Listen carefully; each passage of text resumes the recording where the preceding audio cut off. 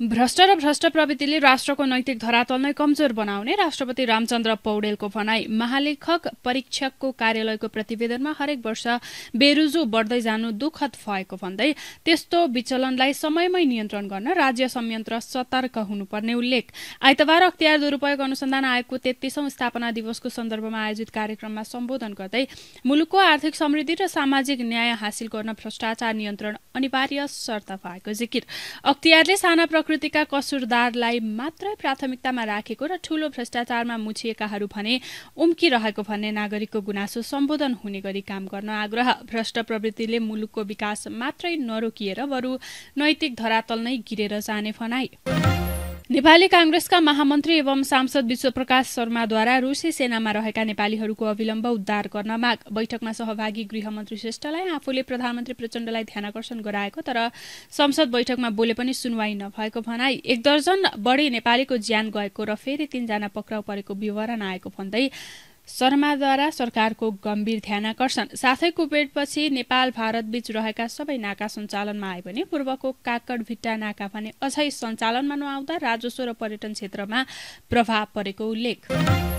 भूटानी शरणार्थी प्रकरणमा प्रहरी अधिकृतहरूले दोस्रो चरणको अनुसन्धान भइरहेको बताउँदै आए पनि उपप्रधान एवं गृहमन्त्री नारायण काजी श्रेष्ठद्वारा दोस्रो चरणको अनुसन्धानबाट थप प्रमाण नआएको संसदीय समितिलाई गराए जानकारी। आइतबार संसदको राज्य व्यवस्था तथा सुशासन समितिमा राष्ट्र स्वतन्त्र पार्टीको सभापति रवि लामिछानेले भुटानी शरणार्थी बनाएर नेपाली नागरिकलाई अमेरिका पठाउने गिरोहले आर्जु देउवा र मन्जु खाँडको नाम लिएको बारे प्रश्न गरेपछि जवाफमा मन्त्री श्रेष्ठद्वारा अडियोमा नाम लिएका आई प्रोफाइल विरूद्ध प्रमाण नभेटिएको जवाफ पेश। दुईजनाको बीचमा अर्को व्यक्तिबारे भएको अडियो कुराकानीलाई प्रमाण मानेर मुद्दा चलाउन नमिल्ने श्रेष्ठको भनाई। बाँसबारी जग्गा प्रकरणमा नेपाली कांग्रेसका सांसद विनोद चौधरीलाई किन बयान नलिएको भन्दै गृहमन्त्री नारायण काजी श्रेष्ठलाई राष्ट्र स्वतन्त्र पार्टीका सभापति रवि लामी छानेले गरे प्रश्न। बाँसबारी जग्गा प्रकरणमा पक्राउ परेका अरूण चौधरीको जति नै सांसद विनोद चौधरीको पनि शेयर देखिएकाले अनुसन्धानको दायरामा राखेर विनोद चौधरीलाई बयान नलिएको बारे आपत्ति। पूर्व गृहमन्त्री रामबहादुर थापाका फरार रहेका छोरा प्रतीक थापा यस्तै इन्द्रजित राईका छोरा निरज बारे समेत सत्य तथ्य बाहिर ल्याउन गृहमन्त्री माथि माथि लामिछानेको दबाव नेपाली कांग्रेसले बोलायो केन्द्रीय समितिको बैठक पार्टी कार्यालय सानेपामा फागुन तीन गतेका लागि बैठक बोलाइएको पार्टी कार्यालयका मुख्य सचिव कृष्ण प्रसाद पौडेलद्वारा जानकारी। बैठकमा आगामी फागुन सातदेखि दस गते ललितपुरको गोदावरीमा हुने महासमिति बैठकको सम्बन्धमा केन्द्रित रहेर छलफल हुने उल्लेख। छलफलका लागि कांग्रेसले तयारी थालिसकेको छ भने आवश्यक थप निर्णय केन्द्रीय समितिले गर्ने जानकारी। त्रिभुवन अन्तर्राष्ट्रिय विमानस्थलस्थित अध्यागमनमा जाने कर्मचारी पाउन गाह्रो भएको उप प्रधान एवं गृहमन्त्री नारायण काजी श्रेष्ठको भनाई। आइतबार अध्यागमनमा देखिएको समस्या मानव तस्करी लगायतका बारेमा राज्य व्यवस्था तथा सुशासन समितिले गरेको छलफलमा बोल्दै विमानस्थलमा अध्यागमन कर्मचारीको कमी रहेको बताउँदै खटाएका कर्मचारी पनि जान नमानिरहेको अवस्था रहेको उल्लेख। विमानस्थलको अध्यागमनको कर्मचारी पठाउने को नपठाउने भन्ने बारेमा मापदण्ड बनाइएको र एकपटक त्यहाँ पुगेको कर्मचारीलाई अर्को पटक त्यहाँ जान नपाउने व्यवस्था गरिएको उल्लेख। चाँडोभन्दा चाँडो राष्ट्र सुरक्षा नीति बनाउनु पर्ने नेकपा एमालेका उपमहासचिव तथा सांसद पृथ्वी सुब्बा गुरुङको भनाई। गणतन्त्र स्थापनापछि आजसम्म राष्ट्र सुरक्षा नीति नबनेको भन्दै चाँडोभन्दा चाँडो राष्ट्र सुरक्षा नीति बनाउनु पर्ने उल्लेख। देशको व्यवस्था फेरिए पनि सरकारको काम गर्ने संयन्त्रहरू नफेरिएको भन्दै यसले काम गर्न गाह्रो भएको जिकिर। सरकारका मन्त्रीहरूले विकास निर्माणका योजना लिएर जाने सांसदहरूलाई भेट नदिने गरेको नेकपा माओवादी केन्द्रका सांसद महेश कुमार महराको आरोप।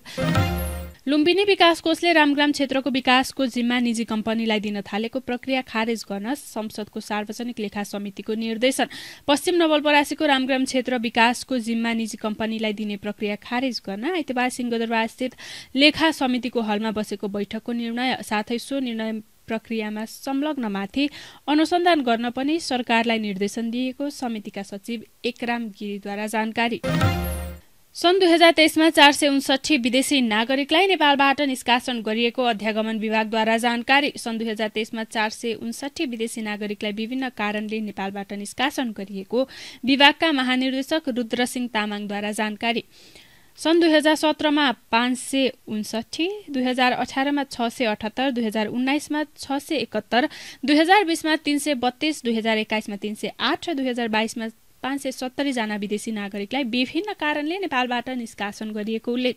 यसै गरी गैर आवासीय नेपाली नागरिकता लिएका नेपाली मूलका विदेशीहरूको भिसा शुल्क सम्बन्धमा स्पष्ट नभएकाले समस्या आइरहेको आइतबार बसेको राज्य व्यवस्था तथा सुशासन समितिको बैठकमा जानकारी। नेकपा माओवादी केन्द्रका पचासजना नेताको घटुवा आइतबार बसेको पार्टीको केन्द्रीय समिति बैठकमा पार्टीका पचासजना नेताको घटुवा गरिएको जानकारी। पार्टीको कोशी प्रदेशमा रूपान्तरण अभियानमा नगएका पचासजनालाई घटुवा गरिएको प्रदेश अध्यक्ष हर्कबहादुर नेमुवाङद्वारा जानकारी।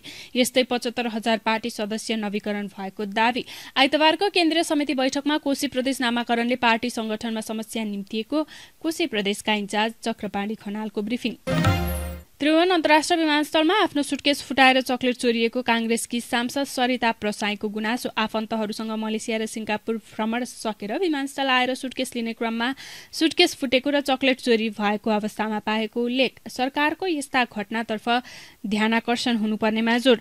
अध्यागमन विभाग र भन्सारका कर्मचारीलाई तालिम दिनुपर्ने अवस्था रहेको भन्दै आफू भारतबाट काठमाडौँ आउँदा आफूले साडी ल्याएको झोला जबरजस्ती खोतलेको तर आफूभन्दा माथिल्लो तहको सँगै रहेका व्यक्ति व्यक्तिले धेरै सामान ल्याए पनि ती व्यक्तिमाथि कुनै जाँच नगरेको उल्लेख गर्दै एयरपोर्टमा हुने गतिविधिमाथि उठाइन् प्रश्न। सांसद प्रसादद्वारा काकरफिटा नाका खुलाउने पहल गर्न गृहमन्त्री समक्ष आग्रह।